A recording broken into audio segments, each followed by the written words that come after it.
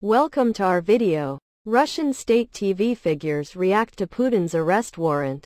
I would like to focus on the Newsweek report dated March 18, 2023. Russian state TV figures react to Putin's arrest warrant. By Brendan Cole. Kremlin propagandists have given an angry response to the decision by the International Criminal Court, ICC, to issue an arrest warrant for Vladimir Putin.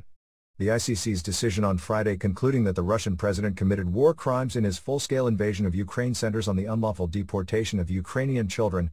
The Yale Humanitarian Research Lab published a report in February alleging that at least 6,000 children from Ukraine had been sent to Russian re-education camps.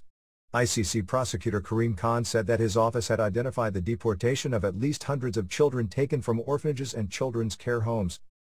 Russia's Commissioner for Children's Rights, Maria Lvova-Belova, is also wanted by the ICC for the same alleged crimes.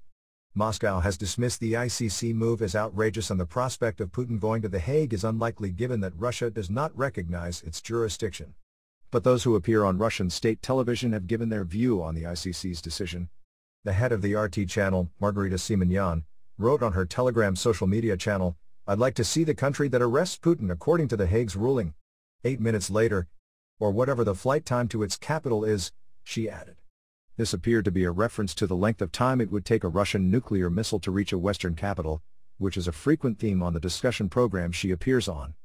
Meanwhile, TV anchor Vladimir Solovyov, who hosts a nightly show on the Russia One channel that often features Simonyan, said that The Hague should be nominating Vladimir Putin for the Nobel Peace Prize because of these children.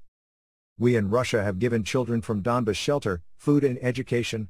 And you couldn't even accept Ukrainian refugees humanely in the European Union, he added in the comments reported by Ukrainian news outlet Ukrainska Pravda. Another TV host on Russia 1, Olga Skabayeva, posted an image on Telegram caption Putin goes to surrender to The Hague, in which Putin is on the back of U.S. President Joe Biden at the bottom of the steps of Air Force One. The court may have no sway in Russia, which does not recognize its jurisdiction, but Biden said that the issuing of the warrant makes a very strong point telling reporters on Friday he's clearly committed war crimes. In a statement, the U.S. State Department told Newsweek on Friday that Russia's alleged actions will have serious long-term implications on these children's development. Russia's actions speak for themselves. The international community cannot ignore the reality that appalling abuses are the result of decisions and actions at all levels of Russia's government, the statement added. Newsweek has contacted the Kremlin for further comment on the ICC ruling. While it took part in the negotiations to create the ICC, the U.S. is not a state party to the Rome Statute which led to the court. Former President Bill Clinton signed the statute but did not submit the treaty to the Senate for ratification. In 2002, former President George W. Bush informed the UN that the U.S. no longer intended to ratify the treaty and that it did not have any obligations toward it.